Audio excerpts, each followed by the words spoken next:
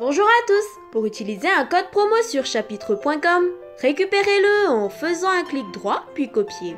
Rendez-vous sur chapitre.com, ajoutez vos livres dans votre panier en respectant les conditions du code promo. En bas de votre panier, collez votre code promo. Cliquez sur Valider pour voir apparaître les avantages du code promo. A bientôt sur moindépenser.com